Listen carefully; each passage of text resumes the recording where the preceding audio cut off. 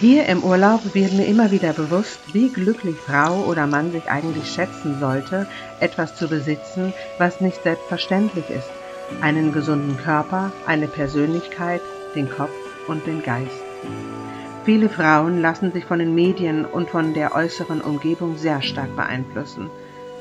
Hier im Urlaub wird mir das immer wieder klar, wenn ich abends ausgehe oder mich tagsüber an den Strand lege die vielen hübschen Frauen und Mädchen, alle top gestylt, alle extrem auf ihr Aussehen bedacht.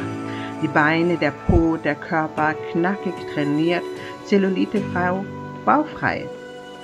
Der Körperkult, so scheint mir, ist hier wirklich sehr wichtig. Nun gut, ich denke, die meisten haben sich für den Urlaub vorbereitet. Das ist häufig ein großes Ziel, welches man erreichen möchte. Im Urlaub top auszusehen, sich in knappen Klamotten zu zeigen, sehen und gesehen werden. Hart trainieren im Kaloriendefizit. Aber all das nur, um bei anderen Eindruck zu schinden? Um anderen zu gefallen? Vielleicht auch nur für die zwei Wochen, die man hier verbringt? Ich liebe Sport, ganz besonders Kraftsport und Laufen. Es werden Endorphine freigesetzt und das Gefühl danach ist einfach nur bombastisch. Die gestärkten Muskeln halten dich schmerzfrei aufrecht gehend und sind sicherlich auch der Figur schmeichelnd. Doch was definiert hübsche Frauen?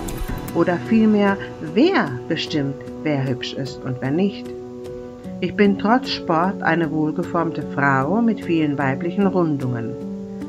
Andere hirnfreien Köpfe werden behaupten, ich wäre zu fett. Zwar keine frische 25 mehr, sondern 44 und damit meine ich nicht die Hosengröße, denn die tendiert etwas in Richtung nach oben und trotzdem fühle ich mich wie eine fesche, junge Mieze. Lebensbejahend und voller Optimismus, absolut normal und menschlich. Man ist nur so alt, wie man sich fühlt. Auch wenn der Körper nicht mehr so ausschaut wie vor 19 Jahren, trotzdem bist du eine einzigartige Persönlichkeit. Trotzdem hat dieser Körper, den du hast, dir viel gebracht im Leben. Und genau aus diesem Grund hat er es verdient, gehegt und gepflegt zu werden. Er hat dich durch die Welt getragen. Er hat dir geholfen, dein Leben zu meistern.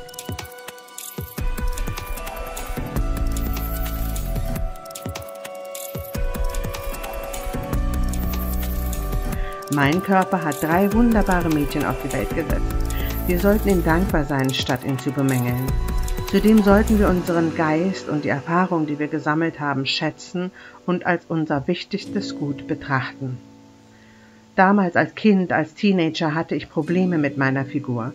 Nur aus dem Grund, weil ich es nicht anders kannte oder nicht besser wusste. Dir wird von allen Seiten suggeriert, wie du auszusehen hast. Überall, wo du hingehst, siehst du Werbeplakate.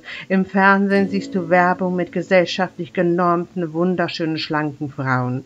Deine Familie, Freunde, Kollegen tadeln dich, wenn du zugenommen und loben dich, wenn du an Gewicht verloren hast.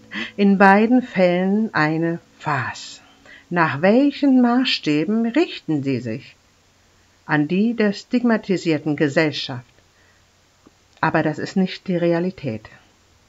Die Realität sind Frauen mit Größe 42, 44, 46, ganz besonders bei Frauen, die schon Kinder zur Welt gebracht haben. Vergiss nicht, dein Körper hat dir geholfen, diese Kinder in deinem Bauch zu tragen, zu schützen, auf die Welt zu bringen und diese Kinder großzuziehen. Der Körper ist nicht dazu da, nur um hübsch auszusehen. Nein, vielmehr dient er einem Zweck, einer Aufgabe. Als junges Mädchen habe ich mich nie in ein Bild hineinzwängen lassen. Ich habe immer aus der Reihe getanzt, weil ich einfach nicht mit der Situation zufrieden oder eher unglücklich war, in die man mich als Teenager gedrängt hat, durch die Medien und durch mein persönliches soziales Umfeld. Und heute weiß ich, dass es richtig war, sich nicht dem Strom anzupassen. Und gegenwärtig hat sich daran nichts geändert. Diese Thematik ist keine Problematik mehr, weil mir bewusst ist, was für eine manipulative Gedankenmaschinerie dahinter steckt. Ich bin eine Plus-Size und ich fühle mich wohl. Wir Frauen mit unserer Körperfülle, wir Frauen mit Zellulite und Schwangerschaftsstreifen, wir sollten mehr Akzeptanz üben. Einfacher gesagt als getan, ich weiß. Aber es ist erlernbar, deinen Körper zu akzeptieren, so wie er ist. Das soll aber nicht heißen, sich einfach damit abzufinden. Wenn du abnehmen möchtest, weil du dich in einem schlankeren Körper einfach wohler fühlst, dann tu es, aber lass es dir nicht von anderen einreden. Jeder Mensch hat sein eigenes Empfinden, was sein Äußeres angeht, im schlimmsten Fall beeinflusst durch Gehirnwäsche. Sei stark, sei selbstbewusst und sei gut. Du lernst aus Erfahrung, du nimmst so viel mit im Leben. Es geht vielmehr darum, dass du dich in deinem Körper wie zu Hause fühlst. Das Schönste, was du deinem Leben und deinem Körper, deinem Geist, deinem eigenen Ich schenken kannst, ist dein Wohlbefinden. Kümmere dich nicht um die Meinung anderer. Nutze deine Zeit auf dieser Welt mit Dingen, die dir gut tun. Geh deinem Hobby nach. Geh in einem schicken Restaurant essen, treffe dich mit Freunden oder mach eine kleine Radtour mit geöffnetem Blick für Details. Genieße auch die kleinen Dinge, denn sie machen dein Leben großartig.